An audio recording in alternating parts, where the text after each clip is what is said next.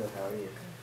Ich, ni, san, chi, go, rook, sich, hach, ku, chu. No, absolutely not. If you're gonna go through the first kata, what you need to do is make sure that your punches are solid, all right? I'm not even kidding. Your punches need to be solid and straight. Completely following through and punching through the elbow. All right, punching through the elbow. Excuse me one second, all right?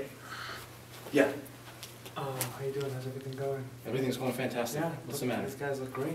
The, we got a big, uh, we got a big tournament tomorrow. Actually, the biggest one in the uh, in the region, and my, uh, my my team is representing our dojo and so. Wow. Yeah, yeah, it's a big deal. Wow. Can I help you? Do you have a minute? Uh, maybe we can talk. I don't have a minute now, but if you come back uh, tomorrow, in fact, tomorrow after the, uh, mm, actually not even tomorrow, because we're gonna be gone all day tomorrow. Probably uh, come back on Wednesday.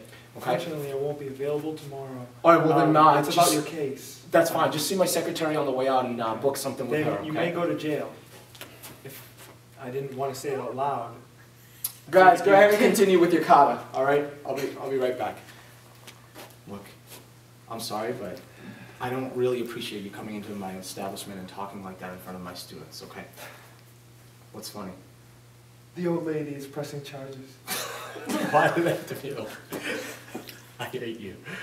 She's pressing charges. I don't know if she's. You gotta go again. Let me open up my briefcase. She has pictures of. Go again.